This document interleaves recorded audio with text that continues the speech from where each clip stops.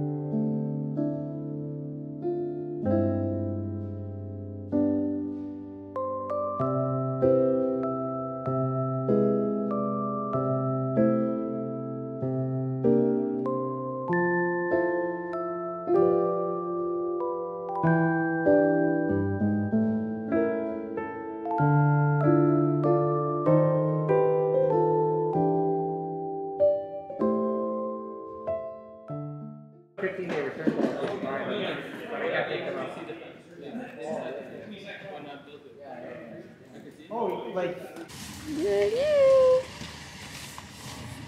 Computer ni Alvin. UK. Sa Memory Express kami bumili kasi madaming pila sa Best Buy. Tulong kami pasok. So, nasa Mayfield Common kami and papunta kami ngayon sa Winners.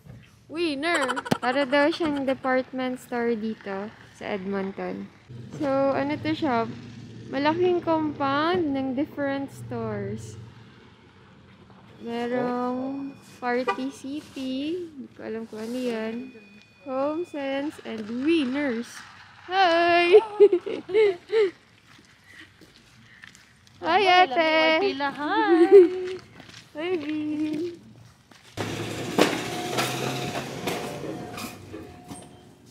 Yung hindi nila ma-sell sa kanilang mga shops, nahulog nila sa winners, tapos mas lower price na. Hmm.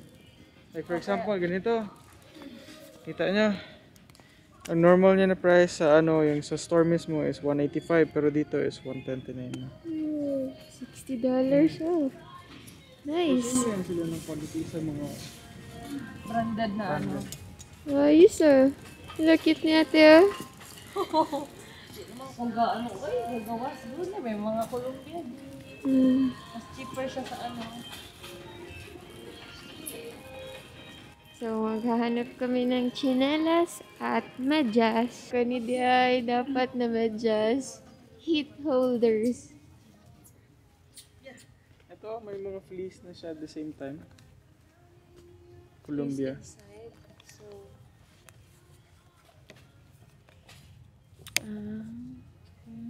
Ah, okay. Yan na lang yung price. Sige, huwag ata. Sila ni siya.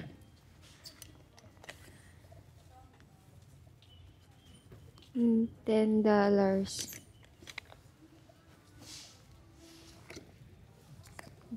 Tingin muna kami sa ibang ano area ng department store sa pambata. Baka mas maraming selection.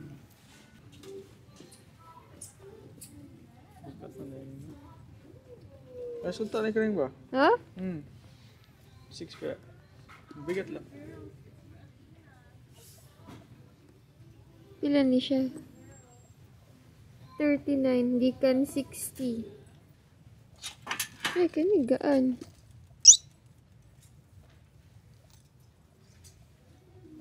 Hmm.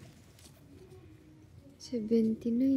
Mahalo eh. Kanilang gray lang ako. Gray, ah. Okay. Modern color. 399.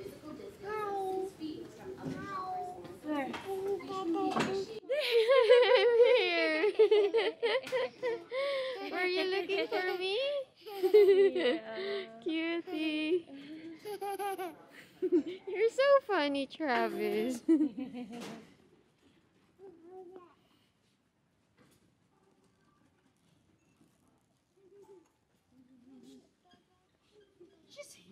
I'm here! Hi! Hi, handsome! Um, it's a ladle. Um, it's a garlic mincer. Asa good? Kani pula. Oh. Nadi ana, I didn't know. I-press na. Mahal po ha, $12 for ano. Basig na ara na sa Mura lang Dollarama. idukduk. You're such a cutie. Lots of kitchen items here.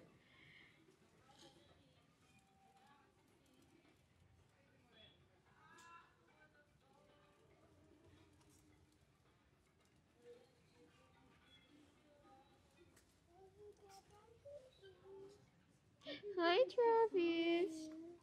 Ay, kani ah. Pila ning ani? Six dollars.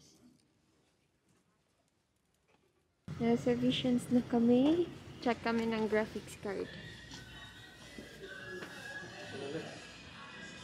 Wala daw silang graphics card. Doon pa rin kami na-recommend sa Memory Express. Tingin lang kami ng TV.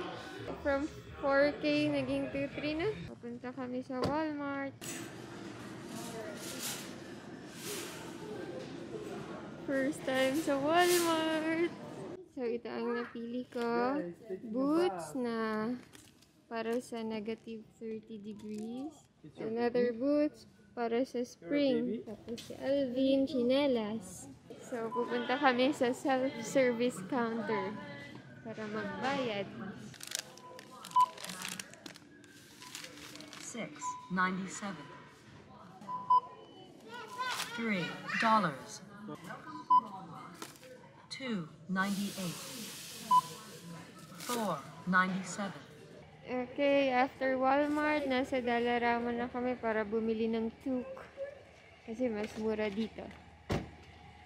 So, ito ang napili ko. Nasa $4. Hello guys! So, nakauwi na kami and mag-haul ako ng mga nabili namin. So, ito yung pang spring na boots. Um, sabi ni ate, ano, very good discount na daw ito. So, from $30, $13 na lang siya and nabili namin sa Walmart. Yan. Tapos, sa Walmart din ito, kay Alvin, na chinelas, $12. And then, yung pang winter na boots, na good for up to negative 30 degrees. Ito siya. Waterproof. Nabili ko for $60. Yan, kung curious kayo sa mga price. And then, bumili din kami ng toque. Kay Alvin, $3.50. Scarf for $4. Tapos, toque para sa akin, $4. Tapos, ito, thermal crew sock for $3.99. Tapos, dalawa ang binili ko. Okay, I think okay na to na gear for the rest of the winter for 3 months. So, siguro nasa less than $100 ang nagastos namin lahat para dito. Yan. Kasi wala talaga kaming dalang toque. O, wala akong dalang thermal sock. Wala akong dalang boots. Ito, good, good deal. In preparation for spring kasi nga daw madumi ang ano dito. Road or yung walkways maputik kapag spring kasi natutunaw na yung snow and meron siyang salt and sand. So, maputik talaga. Ito si Alvin, walang sleeper. So, ito. Salamat sa panonood ng video. Please like, subscribe, and comment below. Bye!